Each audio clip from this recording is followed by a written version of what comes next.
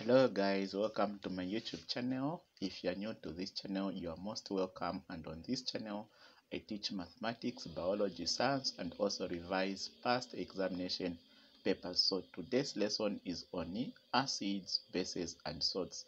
So this lesson is actually a revision. The revision that I want to revise with you, a quick one on acid, bases and salts so that you may understand some few points that are needed to be known on this topic. All right, so your nonsense is universal, so it doesn't matter whichever country of the world you come from, whether you come from the United States, you come from UK, you come from Canada, Australia, basically science is just the same. So going through this lesson, you understand something from this lesson that will be applicable to your country.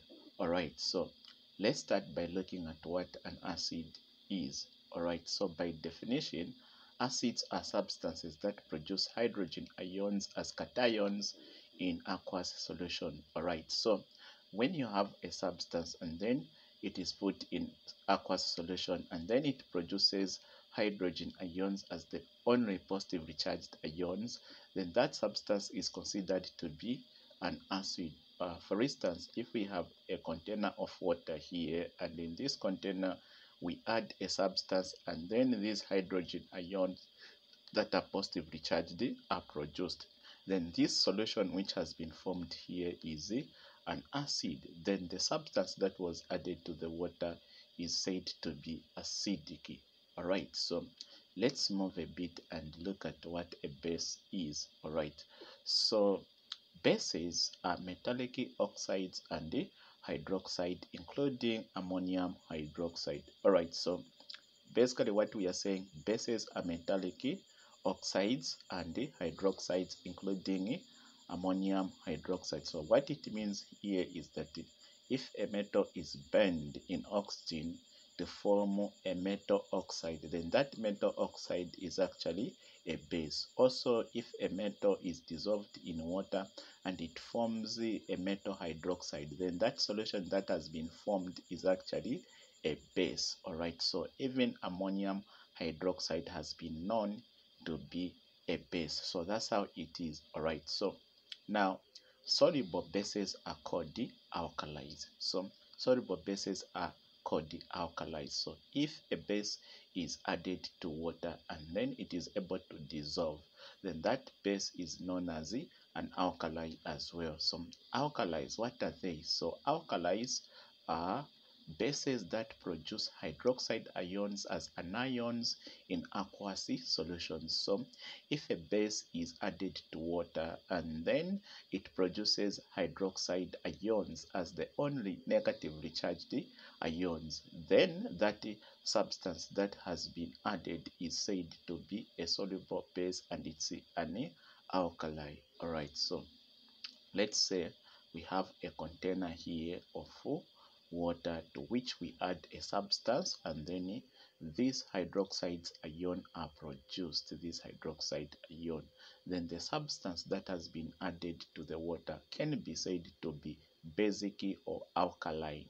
All right so this solution which is formed can be said to be an alkali solution. All right so let's move a little bit and look at this other important concept known as the ph so what is the pH? So we say it is the power of hydrogen ions. All right. So it is the power of hydrogen ions. Let's say acids have high potential of hydrogen ions. So acids have high potential of hydrogen ions. So what does this mean?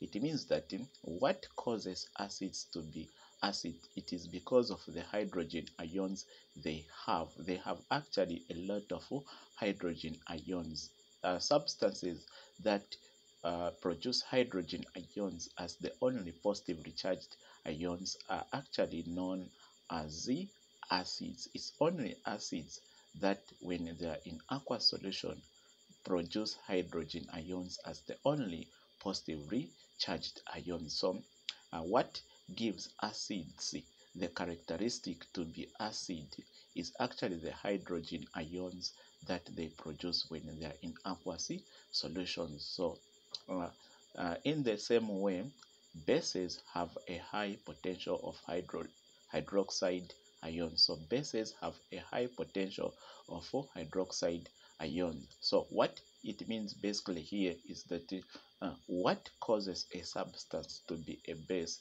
It is actually the hydroxide ions that substance have. So um, the hydroxide ions give the bases their characteristics. So for a substance to be a base, it must be able to produce hydroxide ions when it is dissolved in aqueous solution. Alright, that base which is able to dissolve in water to form a solution is actually now known as an alkali. So let's say um, you have pH values on a pH scale as shown below here. Uh, actually, a pH scale is a scale of pH values ranging from 0 to 12. It shows the value of hydrogen ions from 0 to 14. So we are drawing a pH scale here. Let's say we have a line here and another line here and uh, we label this as 0 the beginning then this middle line as 7 and then this last line as 14 so the values range from 0 to 14 all right so on the left of 7 going to the left of 7 the value of hydrogen ion decreases and this means that the acidity of the substance increases. So the acidity of the substance increases or substances with pH lower than 7 are actually acidic.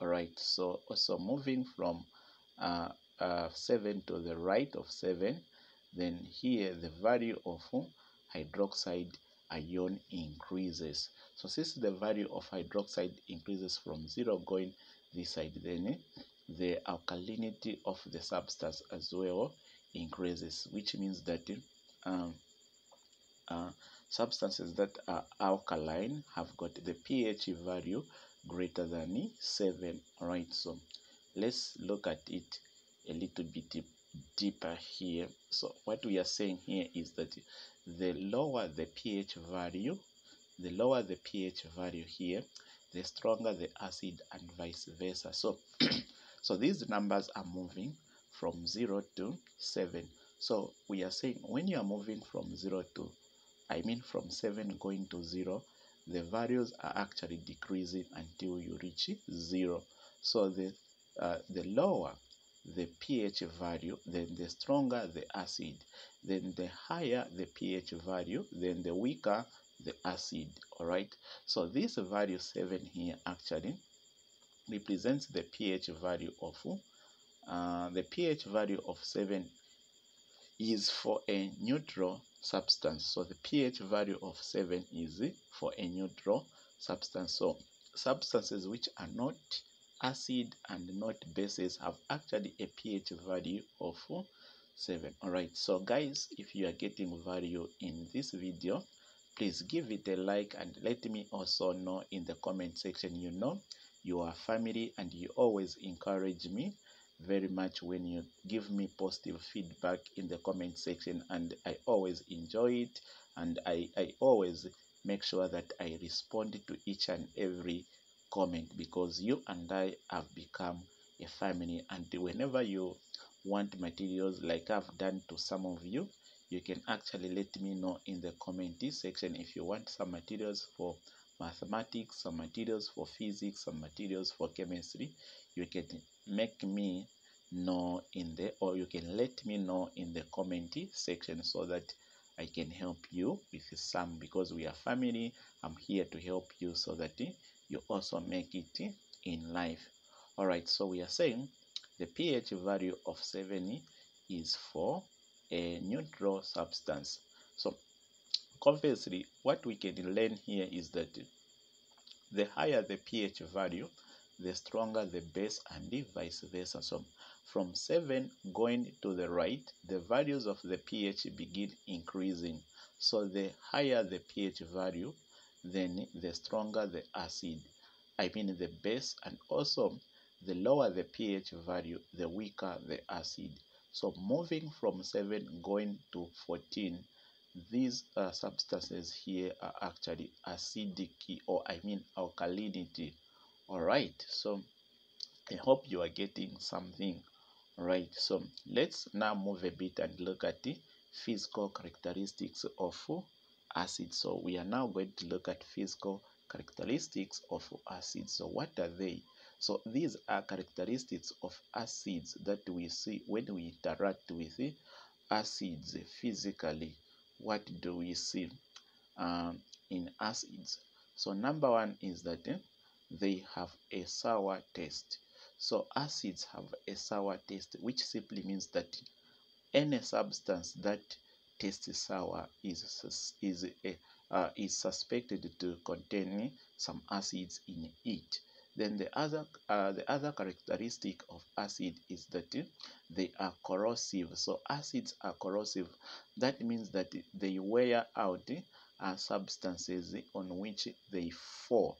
All right for example if some acids drop on your cloth your cloth is likely to corrode all right even your skin is likely to be bent. The, that is a characteristic of acid. Then the other characteristic is that they have a pH value less than 7 so they have a pH value less than 7 that's how it is. So acids have a pH value of less than 7 as you saw when we are talking about the pH then the other thing is that eh, they turn blue litmus paper red so acids turn the blue litmus paper red so there is a litmus paper which is an indicator that is used eh, to determine whether a substance is neutral, acidic, or basic. So there are so many types of indicators. We have red litmus paper, we have blue litmus paper, methyl orange, phenolphthalein, bromothymol, uh, bromothymol blue. Uh, these are some of the indicators which are there. We have also universal indicators. So what it is is that a blue litmus paper, if it is dipped in a solution containing acid, then that blue litmus paper changes color to red and that's how we know that the solution is an acid. Alright, so let's move and look at the chemical characteristics of acids. Alright, so we'll start with eh, the first one which says that eh, they react with reactive metals such as the Maziti metals to form a salt and hydrogen eh, gas. So this characteristic is telling us that acids react with the reactive metals such as the Maziti metals. What are the Maziti metals? These are uh, M for magnesium, A for aluminium, Z for zinc, I for iron, T for tin. So these are the metals that would react with the acids to form a salt and hydrogen gas. So the general uh, equation here is that if you have an acid, you react it with a metal, then it should give you a salt and hydrogen gas. So this is what you have to keep in mind or you have to memorize at, your, at the back of your memory that acid react with metals to produce salt hydro, uh, plus hydrogen gas. So for instance, let's say we get a metal magnesium then plus um, an acid let's say we have hydrochloric acid so this is magnesium. This s stands for solid. Magnesium being a metal it is in solid state then plus being reacted with hydrochloric acid. So hydrochloric acid is in aqueous state solution form. So when these two react we are told they should form a salt. So which salt? It will be magnesium chloride aqueous plus hydrogen gas which is H2G for gas all right? So uh, this formula actually is not balanced. You can put a 2 here to balance it. I did forget to put a 2 there to balance this equation. All right? So what we are saying here again is that the same acids again uh, they react with a base or they react with bases to form a salt and water only. So acids also react with bases to form salt and water only. So what we are saying in this general equation is that if you have an acid, you react it with a base, then it should give you salt plus water. That's what they do acids. When they are reacted with the bases, they have to give you the salt and the water. Alright? So I hope guys you are getting value in this video. If you haven't given me a like, please family, let's support one another. Give me a like and it will to help this video go a long way in the YouTube algorithm. I mean, the YouTube algorithm would suggest this video to even more people to watch it based on the like that you are going to give it and also the comments that you are going to make in the comment section. That's how YouTube works and my channel is going to grow and will grow together because it will give me the morale to continue doing what I'm doing. Thank you very much. So let's now we pick the actual acid that should react with the base to form a certain salt and the water. So let's pick hydrochloric acid in aqueous plus a base such as sodium hydroxide aqueous. When these two react, we are told it should form a salt. Which salt should it be? So it should be sodium chloride aqueous plus water H2O liquid. Alright? So Again, we can also give another example. Let's say hydrochloric acid can react with another base. So this one we give is sodium hydroxide, but we can get magnesium oxide also as a base. Now this one is solid because it's not hydroxide, so it is solid. So this one, when they react, it will give us eh, magnesium chloride aqueous plus eh, water as usual all right so this one we can balance it by putting a 2 here. All right so now let's look at uh, another chemical characteristic of acid. So the other chemical characteristic of acid is that uh, they react with the carbonates to form salt water and the carbon dioxide gas. So if you have an acid, you react it with a carbonate, then it should form how many things? Three. Salt, water, and the carbon dioxide gas. So our general formula is that if you have an acid, you react it with a carbonate, then it should definitely give you a salt plus carbon dioxide plus water. So these are the things you have to memorize. Whenever you see a carbonate reacting with an acid, then these are the three products that are formed. So let's say we have hydrochloric acid, uh, aqueous reacting with the carbonate. Let's say we have calcium carbonate, a common carbonate we know, or limestone. So this is in solid. So this hydrochloric acid, when is reacted with calcium carbonate, it should form a salt. And which salt? Calcium chloride. So it will be calcium chloride aqueous plus, excuse me, carbon dioxide, which is CO2 gas, because it will be gas, plus water, which is H2 or liquid. So mind you, in all my equations that I'm writing, I'm putting these as state symbols to show you in uh, to show you the state in which the substance is. So like when we say hydrochloric acid aqueous, that means hydrochloric acid is in aqueous state or in solution form. When we say calcium carbonate, S solid. That means this calcium carbonate is solid. It can be powdered or it can be in big big particles. All right so these two when they react they form calcium chloride plus I mean aqueous because it will now dissolve in water.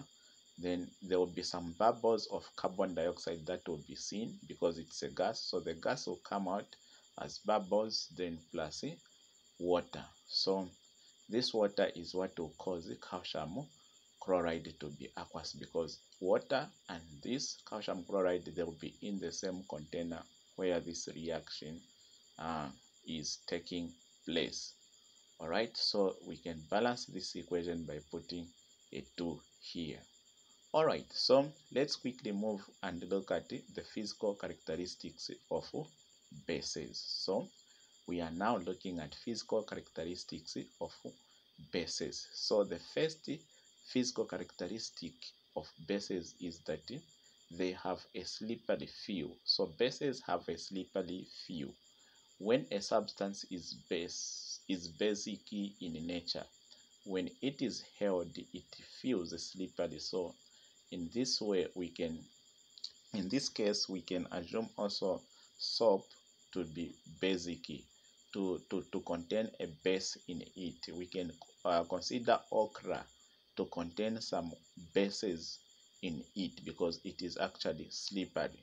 All right. Then the other characteristic of bases is that they have a bitter taste.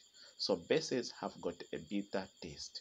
So maybe some fruits that taste bitter are, uh, can be considered to contain bases. Then another characteristic is that bases uh, they turn red litmus paper blue. So the red litmus paper, when it is dipped in a base, then it must change to blue. That is how we know the base is a base. But if it doesn't, then it is not a base. Then the other characteristic is that they have a pH value greater than 7. So you noticed from 7 going upward, it's bases. So bases have a pH value greater than 7. Alright, so now let's move and look at chemical characteristics of bases. So we are here now looking at chemical characteristics of bases all right so the first characteristic of bases is that bases react with acids in a neutralization reaction to form a salt and water only so when uh, a base reacts with an acid they should form a salt and water only. And this reaction is called a neutralization reaction. So what we are saying here is that if we have a base uh, plus an acid it should give us a salt plus water.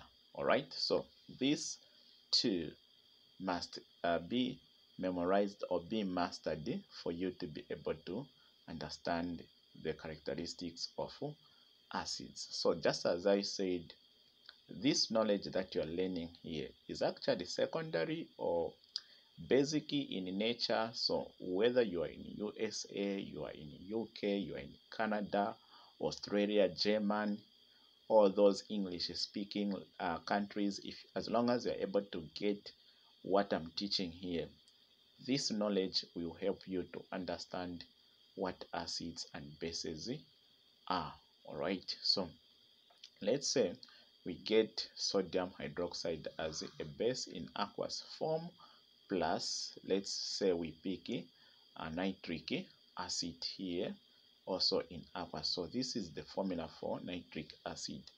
So these two when they, they react they should form a salt by this uh, in this case they'll form uh, sodium nitrate aqueous plus water in liquid all right so what we are saying is that um, this reaction here is called a neutralization reaction.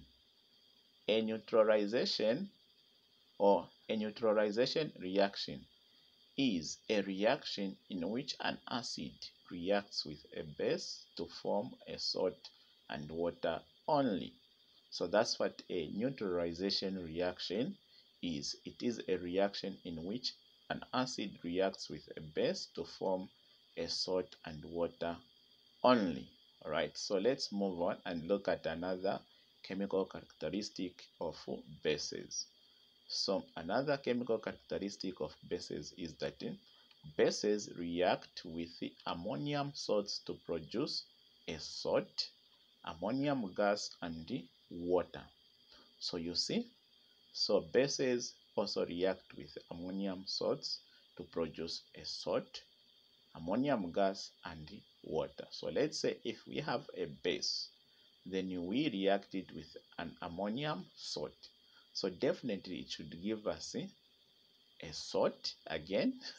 Then eh, it should also give us eh, ammonia gas and also give us water. Alright, so let's say we pick sodium hydroxide and say aqueous plus. Let's say we pick ammonium chloride. Let's say this ammonium chloride is in aqueous. All right so that will mean that when these two react now they will give us a salt which will be sodium chloride aqueous plus ammonia gas which is NH3G plus water H2 or liquid all right? So take note equations are very very important guys all right?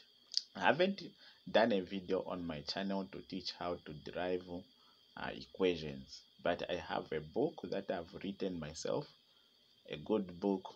If you're interested in it i can sell it to you so that you can learn because it is written in an easy to read way that even without me as long as you're able to read and understand english you can read. Beginning from introduction to chemistry up to how to write ionic equations all right and chemical bonding metallic uh, covariant uh, uh, electrovariant or ionic bonding all that atomic structure electronic structure is in that book written in an easy to understand language. All right so if you're interested you can also let me know. But if you are maybe from usa you are from uk you are watching this video you can click on the link below because i just uploaded one of my uh, my book the same one on the amazon. So you can go on amazon and then you can try to read the book or on amazon kindle. All right? So let's move a bit and look at the sorts now. All right? So let's look at the sorts. So what is a salt so we are saying a salt is a substance formed when the hydrogen ion of an acid is partially or fully replaced by a metal ion or ammonium ion so take notice every time uh, a definition is given you need to memorize that definition and understand because the concept of each and every topic lies in the definition.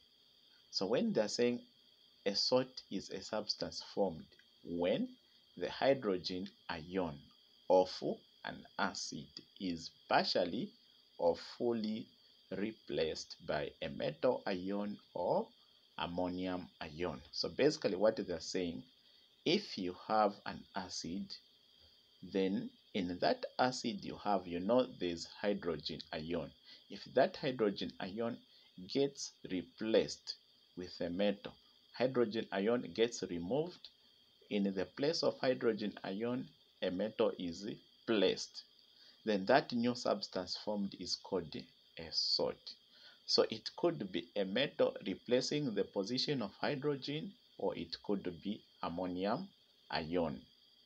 That is what is being said in this definition. Then they're saying the replacing can be partially or fully.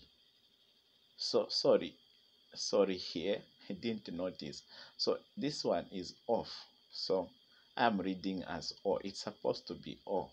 So when we say a salt is a substance formed when the hydrogen ion of an acid is fully or partially I mean is partially or fully replaced by a metal ion or hydrogen ion. That's how it's supposed to read. All right. So, so what we mean here is that if we have, let's say, this base here, reacting with an acid which is nitric acid and then we know in this nitric acid there's this hydrogen here. So if this hydrogen is replaced and then we have an sodium nitrate aqueous plus water then this one we are saying it is a salt so what has happened this sodium as a metal it has replaced the hydrogen here to form sodium nitrate. So that's how a salt is formed. When that hydrogen ion in an acid is replaced its position is taken here like it is shown now. Here it is showing now that sodium has already taken that position. It's there. Then this hydrogen here now with the OH here or the hydroxide they join to make two hydrogen and that water. So these are the two hydrogen here. And I mean that oxygen here. Then they form water. So this is what happens. So here we are saying a base plus an acid will definitely give us a salt and uh, water. This is what this reaction is. So another example we can look at is let's say we have magnesium. Then this magnesium solid is getting reacted with hydrochloric acid aqueous. So make sure what will happen this magnesium will come and sit where there's hydrogen here. So it will form magnesium chloride aqueous plus hydrogen gas. All right so what has happened here is that this hydrogen has been replaced with the magnesium. So this equation is not balanced you can balance by adding a 2 here. All right so what we are saying here we have a metal now plus um, an acid to give us a salt and the hydrogen gas. Here so this one is a representation of how a metal is reacting with an acid and then replacing that. Remember we said acid react with mazit metals all right? So maziti we said magnesium. So magnesium with hydrochloric acid can form magnesium chloride plus hydrogen gas all right? So let's move a bit and have progress all right? So we have looked at a fully replacement. Let me reverse a bit. What we have looked at is a fully so this hydrogen has been removed completely so now there's a sodium hydroxide. Equally here this hydrogen completely removed to form magnesium chloride. So now let's look at a situation where we have partial removal. So let's say we have sodium hydroxide aqueous plus we have sulfuric acid aqueous. Then this one we know that this is an acid sulfuric acid. So this sodium here must replace this hydrogen here. Now instead of removing all the hydrogen there are two here. It just removes one and forms sodium hydrogen sulfate here aqueous then that one hydrogen removed combined with the OH to form water here. So now, this is a partial. So this one removes this one. Partial. So it hasn't removed everything. It is a partial. So this one is still a salt. But we'll say a base, in this case, is reacting with an acid to form this one, an acidic salt or an acid salt plus uh, water here. So this salt here, we consider it to be acid, I think, because it still contains uh, hydrogen there. All right, so let's move and see how we prepare acids, how we prepare salts. We'll talk of preparation of salts. So we are saying there uh, there are three methods of preparing salt. So I didn't update here. There are four methods for preparing salts here. So we are saying there are basically four methods for preparing salts. So we are saying number one, titration or neutralization method. So we have titration or neutralization method as a method for preparing salts then we have another one called displacement method or filter and crystallization method. Then another one called precipitation or double decomposition method. Then another one is called direct synthesis method. So you see we have these four methods of preparing. Sauce one two three four. In my numbering i didn't put a four here. All right but there are four. So we have these four methods of preparing and the reason why we have this is because of the nature of the reactants that can be used to form the acid the salt or also the nature of the salt itself. So for example here we are saying uh, these methods of preparing salts depends on solubility on the solubility of the salt and the nature of reactants so what we mean here is that solubility is the measure of the extent to which a substance dissolves in water. So the measure of the extent to which a substance dissolves in water is what we call solubility. So here we are saying uh, substances that have high extent to dissolve in water are said to be soluble, while those that have a lower extent to dissolve in water are said to be insoluble. All right. So it is because of this nature. So there are certain salts are soluble and some salts are insoluble. So those soluble salts will have their own methods of preparing them and those insoluble salts also will have their own methods of preparing them. So now in my next video, I will be looking at how to prepare salts. Alright, so please make sure if you haven't subscribed, click that red subscribe button and also turn on the notification so that YouTube is able to send you a notification when I upload that video I'm talking about. There are many of you here, when I upload videos, you don't see them because you haven't subscribed and turned on the notification. So if you haven't done so please just for support you can just subscribe. It is free. You don't pay me anything. All right? Just subscribe so that you continue receiving updates of my new uploads. All right. So if you want to look at my book from amazon you can click on the link in the description below thank you very much guys for watching. Until i see you in my next video. As for now bye and please peace